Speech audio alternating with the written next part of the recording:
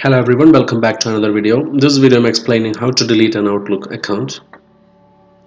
So as you can see here, I already opened the Outlook and there is only one email added on this account. These are archive folders.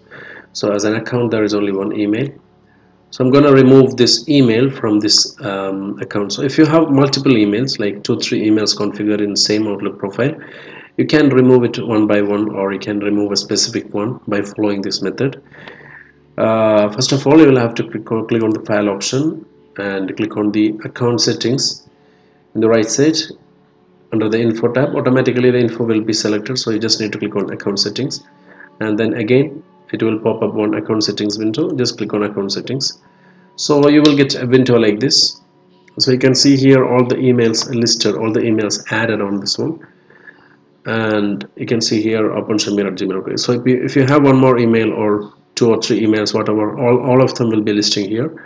So you just need to click on that specific email that you want to remove and click on remove and click on yes. So this is one method of doing this one. The other method is uh, you can go to the control panel. Right now I cannot show because already the Outlook account is removed. And you need to go to the mail. I just want to show you that how we can do that one click on mail. And in this window when you click on email accounts you will see all the list of email accounts. So if you have any emails you can see that email over here. This is uh, looks similar to the window that we have just shown when we go to account settings.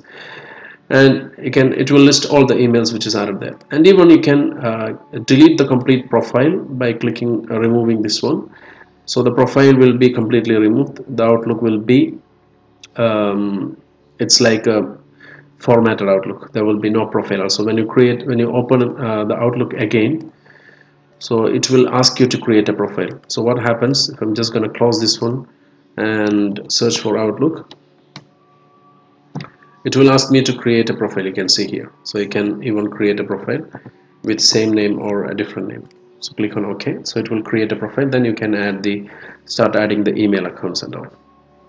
I hope uh, this video was helpful to you. Thank you for watching. Subscribe the channel. Click the bell icon for notification. Take care. Goodbye